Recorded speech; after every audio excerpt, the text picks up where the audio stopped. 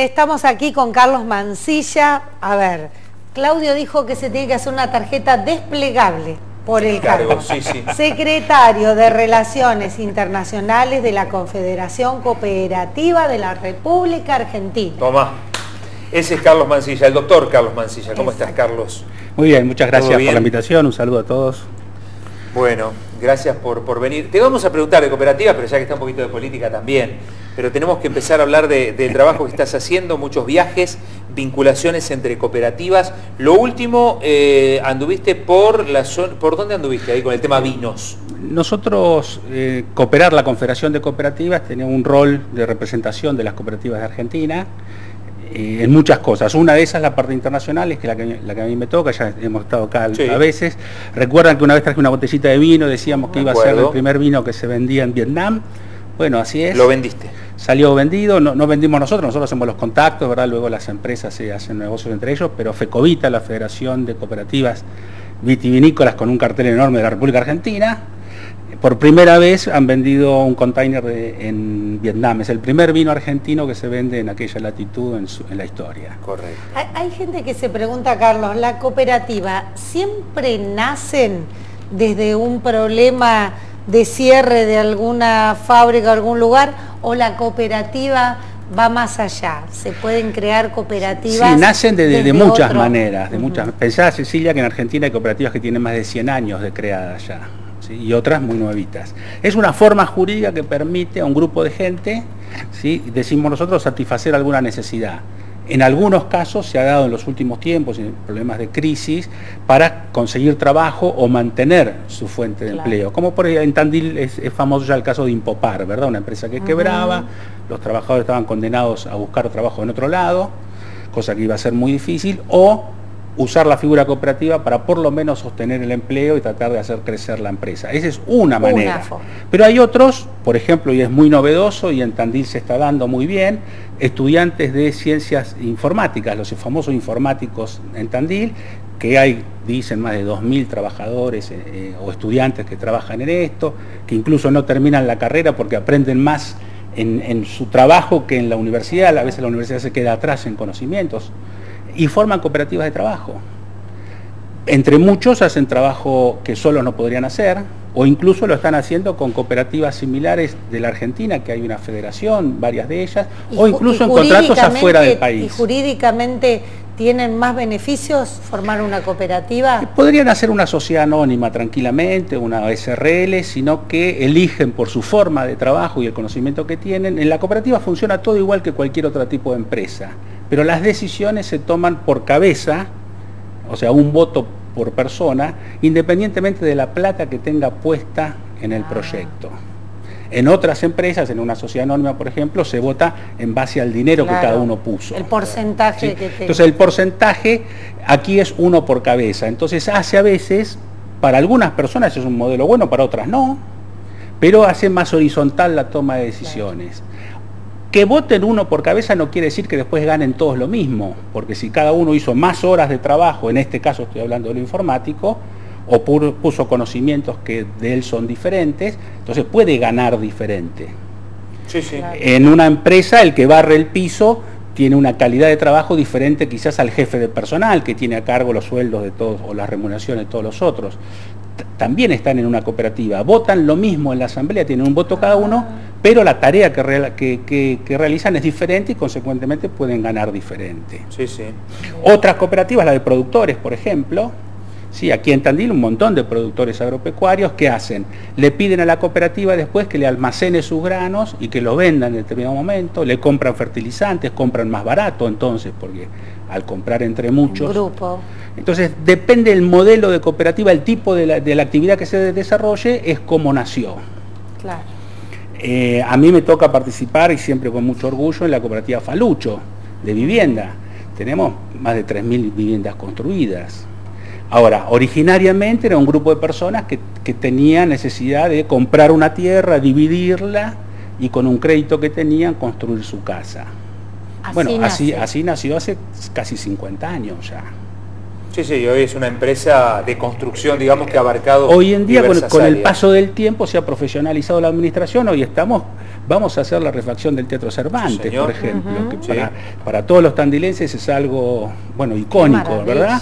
Y lo bueno, creo yo, es que en definitiva, eh, que sea cooperativa del lugar permite saber el flujo de fondos, eso, dónde está, la ganancia, dónde queda. Eh, con la municipalidad, por ejemplo, estamos insistiendo en que ha- haya más compra cooperativa, es decir, que le compre la municipalidad cooperativas de producción que hay en la ciudad. Claro. Eh, analizar el flujo económico. ¿sí? Eh, el amanecer, por ejemplo.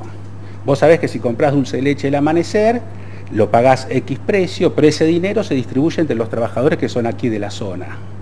Entonces hay un- una democratización de- y, y, eh, el compre local, el compre cooperativo hace que el flujo de dinero quede, quede en la propia zona. en la ciudad. Carlos, eh, ¿cómo, ¿cómo se percibe el mercado, la Argentina cooperativa hacia el exterior? Trabajo en el cual vos estás ahí muy empapado. Eh, ¿Qué es lo que resulta, qué es lo que no resulta todavía? ¿Cuáles son las perspectivas? Nosotros tenemos un programa de, de incidencia en el, en el exterior que es novedoso para la Confederación, pero lo estamos haciendo y en principio estamos haciéndolo con las cooperativas grandes, las que ya están vendiendo afuera. Esta que te digo, Fecovita, pensemos que el 30% de los vinos que se consumen en Argentina, 30%, son hechos por cooperativas. Es muy importante. Entonces, el vino toro, famoso vino toro, pero es el Estancia Mendoza, el Canciller, que son todas, eh, perdón que estamos haciendo un poquito de publicidad, ¿no? Pero No ya, vendrán. Claro. ya vendrán. Pero quiero decirte que eh, el 30% es, es una participación muy importante en la Argentina. Sí, claro. Bueno, también están vendiendo afuera. Nosotros lo que estamos haciendo ahora es pedirle a esas empresas grandes que de pronto se acompañen con alguna pequeña de- del, del sector. El vino se vende muy bien con algún, con aceitunas o con tomate triturado, que hacen otro tipo de productores que están eh, en cooperativas. Eh, en Capital Federal se están abriendo algunos locales ¿sí? de productos gourmet o productos eh, con trazabilidad. El, el consumidor hoy quiere saber de dónde viene esa lechuga. ¿verdad? Quiere saber que esté ambientalmente correctamente hecho. Bueno, las cooperativas tienen un gran rol en, en eso, en, en abrir eh, mercados directo al consumidor, digamos, entre el productor y el consumidor no solo para productos gourmet, sino también para productos tradicionales, es la idea de tratar de que haya nuevos canales de distribución, que no sea hoy el sistema argentino de distribución de alimentos está muy concentrado en, en pocas firmas, no solo productores, sino también de supermercados o Correcto. los grandes canales de, de- de acceso. Carlos, está Carlos Mancilla con nosotros de la Confederación Cooperativa eh, Argentina. ¿Está bien dicho así? Cooperar, sí. Cooperar. Eh, Hablamos un poquito de política. Hablemos Ah, deja- con todo bueno, gusto. pero después de la Lo hacemos, pausa. eh, claro, te iba a decir, Después de la relajémonos. ¿eh? Sí, en el sí, próximo sí, bloque así charlamos más A tranquilo. ver cómo sigue la cuestión, Carlos. ¿Cómo no? ¿Eh? A ver, una buena perspectiva. Hacemos una pausa, ya seguimos.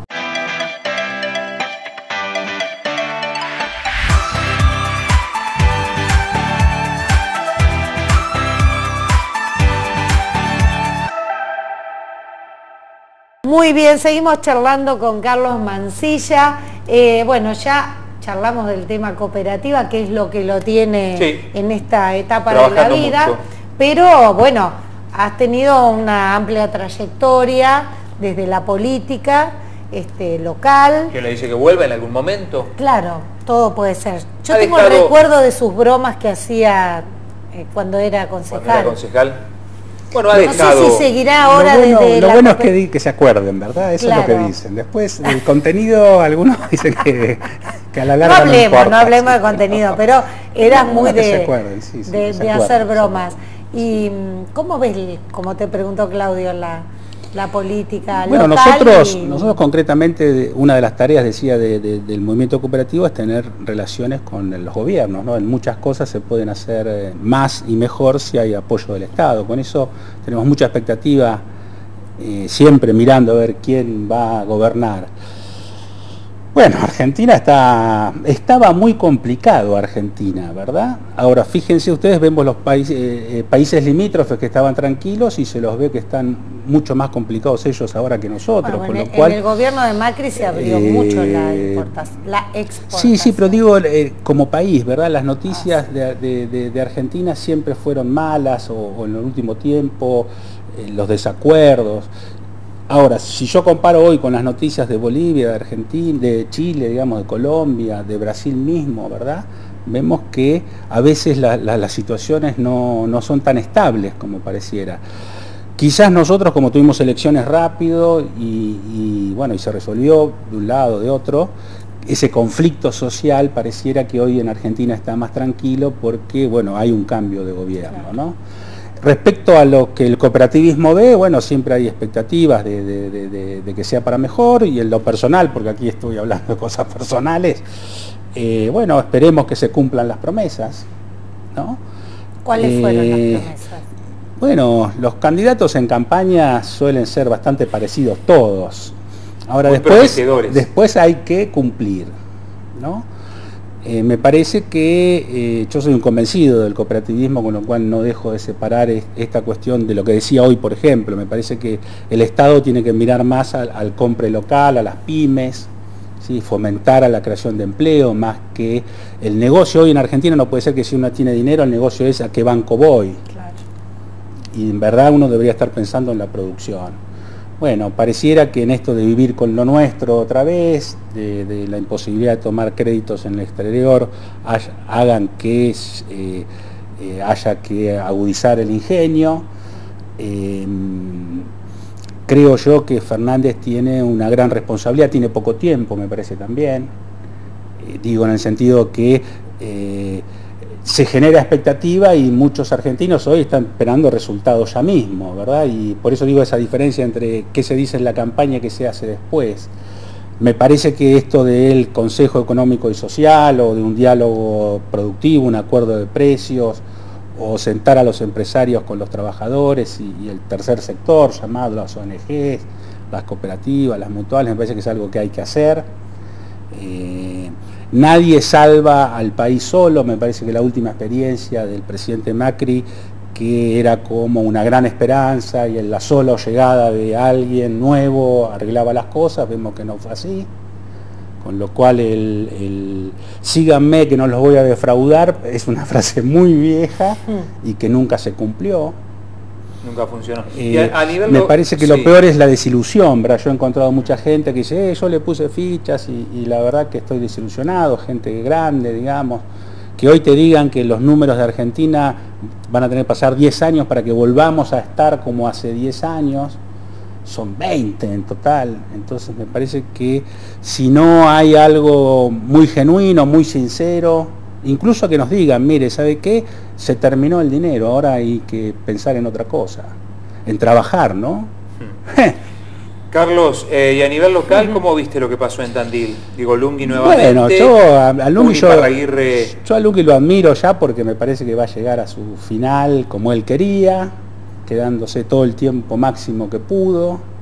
Tiene, me parece, una gran responsabilidad que es generar una, una sucesión eh, ojalá en estos cuatro años que tenga eh, se abra más, se abra en el sentido de, eh, por ejemplo, eso que fue el acuerdo del Bicentenario, que se presentó como cosa muy, muy, abierta, la verdad que se dejó planchado por las elecciones, algunos dicen que no se lo quiso utilizar porque para que no fuera algo de campaña, pero fue algo de campaña pero me parece que vamos necesariamente a eso. Tendría que él tener eh, una mayor apertura, digamos, hacia otros, otros sectores políticos.